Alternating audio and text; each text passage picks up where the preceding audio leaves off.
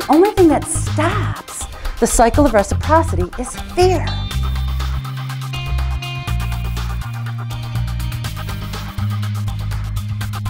If you count up how many hours you have in a day, how many minutes you have in a day, how many seconds in a day, why will you waste it in negativity?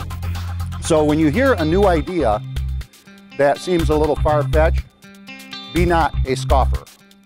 Because that which you scoff at today will, in a few months, be released as a commercial product that you'll be expected to learn how to use. I'm going to teach you techniques because I think you should be able to find anything in your office, digital or hard copy, in five seconds. Five seconds. Think about that. So where are you spending all your time on email?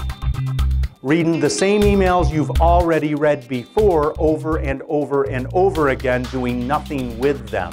Does anybody in here know the clinical definition of insanity?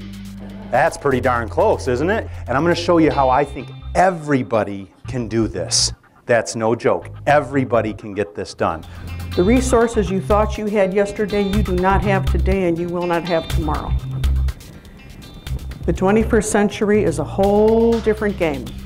We need to pay attention to what's going on in the world of technology because it's going to affect us and our businesses someday in some way.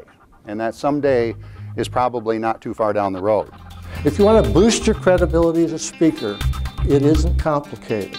Many times when we are dealing with other people, what gets us into the most trouble is our assumptions that we make. But get up in the AM, put your feet on the floor, and think today is like a short mystery story. And I don't know how it's going to end, but I'm going to turn those pages every day with tons of energy. Chase after your passion and what you're doing like it's the last bus of the night. We had a wonderful time today, and I'm hoping that everybody goes away with a lot of good thoughts. The speakers were terrific today, and hopefully by the end of this year, in December, we're going to put on another speaker showcase. Just watch for news on my website. Thanks a lot. Hi, my name is Jamie Holdcraft, and I was a speaker today at the Speaker Showcase. And it was just a great place for businesses to not only network, but to learn about different topics and to find great speakers for those topics. So I had a great time today. The food was great, the presentations were great, as well as the company.